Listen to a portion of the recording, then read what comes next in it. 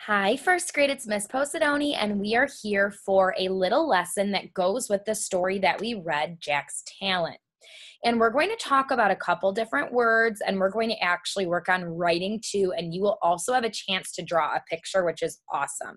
So, right off the bat, we listed it on our supplies sheet, but I'm going to tell you exactly what you are going to need for this lesson ready to go before we get started. So, number one, this sheet right here, these are vocab cards that our, or sight words cards that are located in your ELA bag. All of the cards that have a number one next to it, which are the words am, I, to, and like. Those are the cards that you need to cut out and have ready for this lesson. Okay. You do not need to have any of the other cards cut out and ready for this lesson, just those top four. So make sure that you have those. You will also need your complete sentence checklist that looks like this, and it is also in your ELA bag.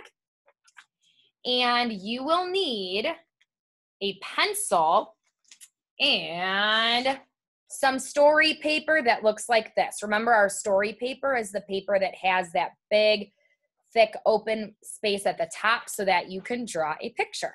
So those are the items that you will need for this lesson. All right, good. You have them all ready to go, right? Awesome. We are going to go through a couple words and talk about what they are, how we can use them in sentences that we can use these words in, and then we're actually going to write some sentences and I will show you exactly what I want you to do.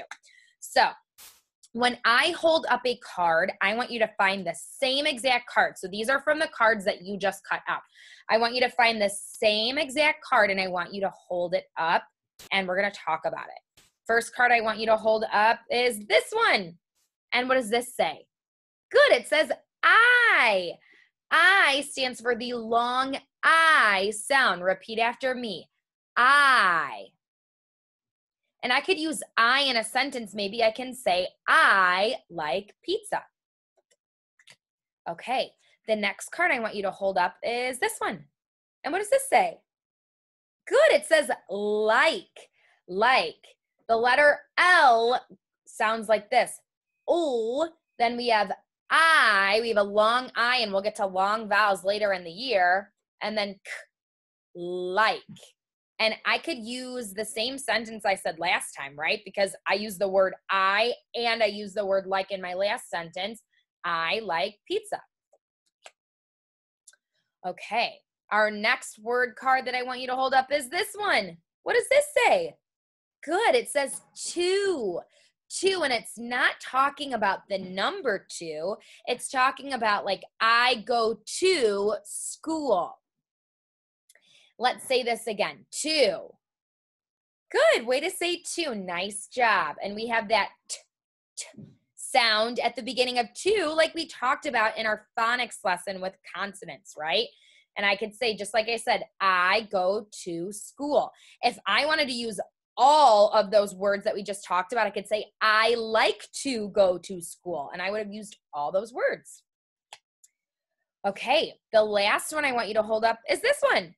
And I know it's a little harder to see. That's the word am. And this one we can sound out ah, mm, am. It has that short A that we talked about in our phonics lesson.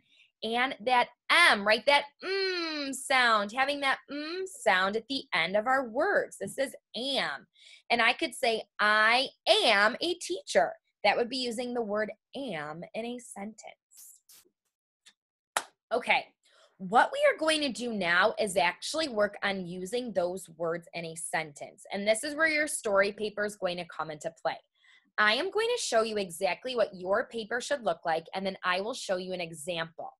So right here on your story paper, there's a couple of things that are going to happen, and this is also where your complete sentence checklist is going to come into play. What you are going to see, remember, we had that video or I had that video where I showed you how to write on paper, right? And I know we just wrote our name, but you are going to see that I start all the way to the left of my paper on that first line, not in that open space, right? We're not writing in that open space. That open space is meant for our picture. That first line is meant for our words. And when we're writing our words, we really want to focus on capitals whenever we write a sentence. We want to focus on finger spacing. I should be able to fit my finger in between my two words, which you see I can do. And we also want to focus on having an end mark and then looking back at it and making sure that it makes sense and it looks right. So, you'll see that we have all of those words that we just talked about on this paper. I am, and then you're going to see that I put a line. That is where you are going to fill in your name. And I'm going to show you that example that I did in just a moment. There are two sentences for this activity. So I am, and then you'll write your name and you'll see that I have a period at the end of that.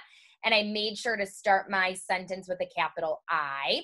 And then my second sentence says, I like to, and then another blank. And you can fill in whatever you like to do on that blank. Now, the goal is that the more that we move on in the year, we become awesome, awesome, awesome at spelling, right? And writing different words. For now, use your best spelling. Try and sound out, do what's called stretchy snake or chopping out those words like we worked on in our lesson earlier for phonics. Try and do the best that you can to spell out your words. And the hope is that the more that we move on on the year, move on throughout the year, that you become a super, super strong speller or super amazing at spelling. So again, it says I am, and you're going to write your name, and I like to, and then you're going to write what you like to do. And then what you are going to do in this open space right here is draw a picture of what you like to do. Now, I know that I used marker, and I used marker so that you can see it. You want to use pencil. Always, always, always use pencil because if you accidentally make a mistake, like maybe you accidentally forget to have a capital I at the start of your sentence, it's no big deal if you use pencil because then you can erase it and then write your capital I. Let me show you my example. I did not draw a picture, but I'm going to show you the example sentences that I wrote. So here we go. Our sentence starter, I am, and then I put I am Miss Possidoni, and then I have my period, and I made my M capital and Miss and my P capital and Possidoni because that's my name, and we always make sure that our names are begin with a capital letter. And then I put, I like to play volleyball. And then if I were you guys, I would be drawing a picture of me up here playing volleyball. Now, pencil for your sentences. For your picture up top, you can use crayon or you can use marker. I suggest using crayon just so it doesn't go through this paper. Once you finish your assignment, you will take a picture of it and you will post it directly onto Dojo Portfolio but do not throw away this paper. Reason why is because next time we have a writing lesson, guess what you can do? You can side, right? We don't want to throw it away and not use the back side. We want to use all of the paper that we possibly can.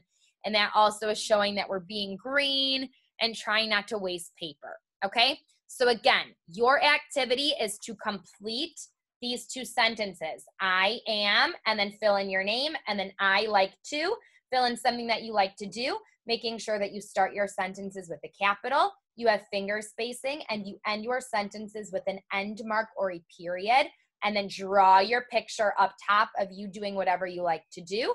Take a picture of it and post it directly onto Dojo Portfolio. All right, first grade, I am looking forward to hearing about and seeing what you like to do, and I hope you have a great day. Bye.